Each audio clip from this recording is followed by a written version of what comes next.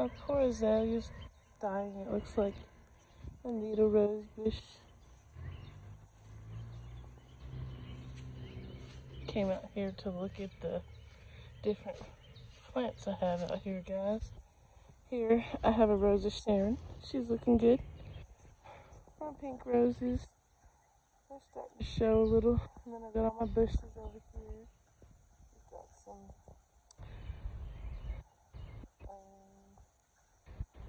Burford hollies. We got some regular hollies. And then my prized possession here is my beautiful blueberry bush.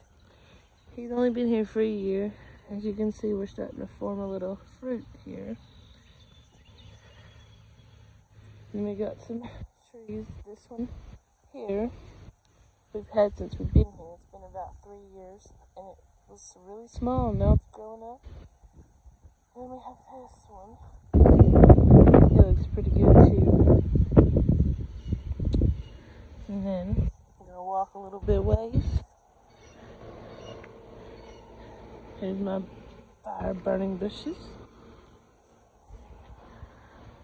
I have some cactuses here, I think they did pretty well. And then bring you over here to some more of my Burford hollies that are doing pretty well. This is the first Burford holly we ever planted and it's getting really big. And here are some Asiatic um, lilies that are coming up and a little bit of everything else. And then there's my gladioluses and my lemon tree. A couple bushes. We've got a burning bush here. Well, two.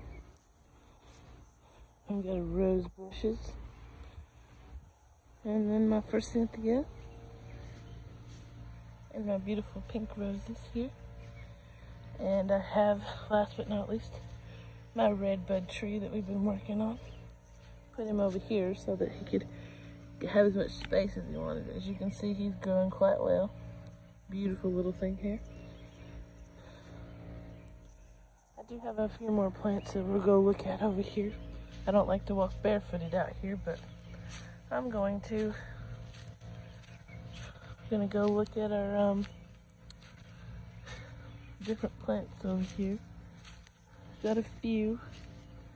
I have some beautiful plants here.